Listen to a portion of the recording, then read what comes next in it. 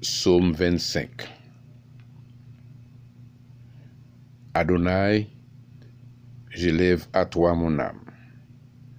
Mon ya, en toi je me confie, que je ne sois point couvert de honte, que mes ennemis ne se réjouissent pas à mon sujet. Tous ceux qui espèrent en toi ne seront point confondus.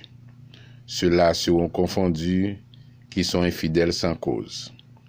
Adonai, Fais-moi connaître tes voies. Enseigne-moi tes sentiers. Conduis-moi dans ta vérité et instruis-moi. Car tu es le ya de mon salut et tu es toujours mon espérance.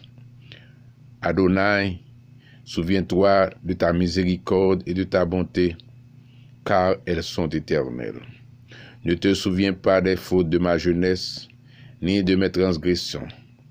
Souviens-toi de moi selon ta miséricorde, à cause de ta bonté, ô Adonai. Adonai est bon et droit. C'est pourquoi il montre aux pécheurs sa voie. Il conduit les humbles dans la justice. Il enseigne aux humbles sa voie. Tous les sentiers de Adonai sont miséricorde et fidélité pour ceux qui gardent son alliance et ses commandements. C'est à cause de ton nom, ô Adonai, que tu pardonneras mon iniquité, car elle est grande.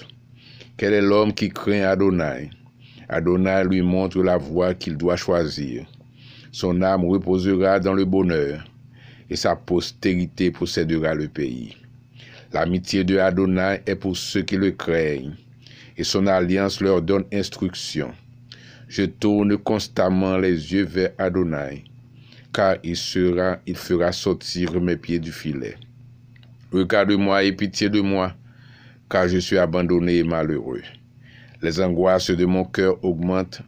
Tire-moi de ma détresse. Vois ma misère et ma peine, et pardonne tous mes péchés. Vois combien mes ennemis sont nombreux, et de quelle haine violente ils me poursuivent. Garde mon âme et sauve-moi, que je ne sois pas confus, quand je cherche auprès de toi mon refuge. Que l'innocence et la droiture me protègent quand je mets en toi mon espérance. Ô Adonai, délivre Israël de toutes ses détresses. Alléluia.